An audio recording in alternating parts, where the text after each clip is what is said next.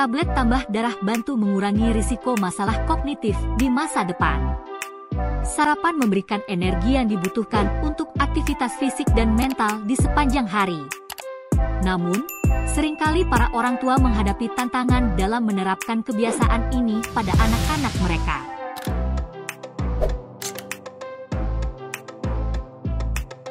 Satu, contohkan dengan teladan. Sebagai orang tua, moms dan dads adalah teladan pertama bagi anak-anak. Pastikan untuk menunjukkan kebiasaan sarapan pagi yang baik dengan konsistensi. 2. Berikan pilihan makanan yang sehat. Pastikan menghindari makanan tinggi gula dan rendah gizi. Dengan memberikan pilihan yang menarik, maka dapat meningkatkan minat anak untuk sarapan. 3. Tentukan waktu sarapan yang teratur pastikan mereka memiliki waktu yang cukup untuk makan dengan tenang sebelum berangkat ke sekolah atau melakukan aktivitas lainnya.